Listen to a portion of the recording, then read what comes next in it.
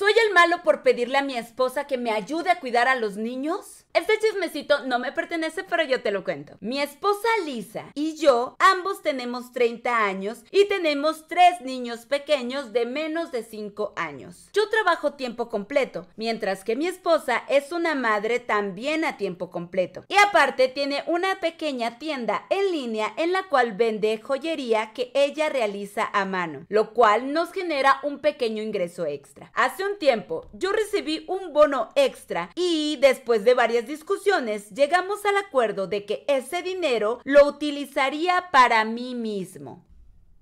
Lo cual se me hace bastante egoísta. Oye, tienes una esposa y tres hijos y dices, ah, ese dinero es solo para mí.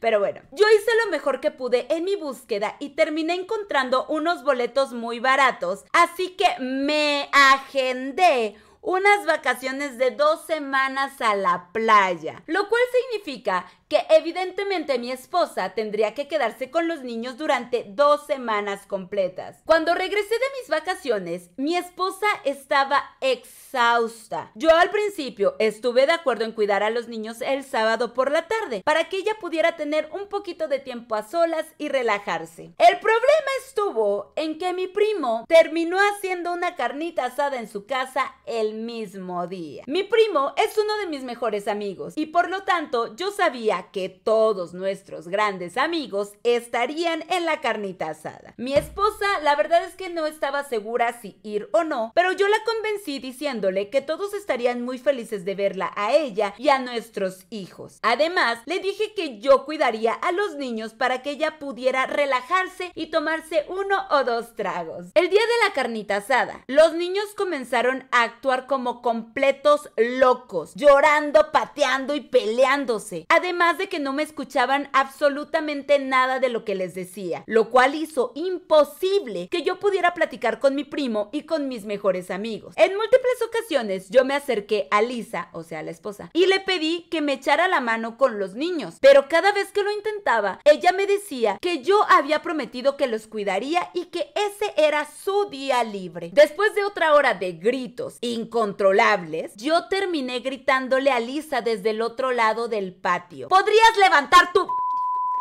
y ayudarme con los niños. Entonces ella se levantó furiosa y comenzó a gritar por lo bajo que yo estaba rompiendo la promesa que le había hecho de dejarla tener un pequeño tiempo de relajación. También me dijo que ella ni siquiera quería venir y que prácticamente yo la había obligado a hacerlo. Traté de explicarle que a estas personas no las veo tan a menudo y que por favor no hiciera una escena. Que no hiciera una escena. El vato le gritó desde el otro lado del jardín y decía que ella la que estaba haciendo la escena? Por desgracia, algunas personas sí nos oyeron y empezaron a murmurar y a decir que Lisa es una madre muy floja y comenzaron a decir que solo quería dejarme los niños a mí y que ella se estaba aprovechando de mí porque yo soy un gran padre. Entonces Lisa comenzó a llorar y se volteó para gritarles a las personas que estaban hablando de ella diciéndoles que se fueran Después se volteó muy molesta y me lo dijo a mí también. Tomó las llaves del auto y se fue. Ella volvió un par de horas después para recogernos a mí y a los niños, pero nosotros no hablamos de absolutamente nada en todo el trayecto de vuelta a casa. Esa misma noche intenté hablar con ella para explicarle que los niños estaban teniendo un día muy difícil y que yo solo quería un poquito de su ayuda para que yo pudiera terminar las conversaciones que estaba teniendo y después volvería a ayudarla con los niños niños. Entonces ella me dijo que era muy injusto porque ella había cuidado a los niños durante dos semanas mientras yo disfrutaba de la vida en la playa y que ahí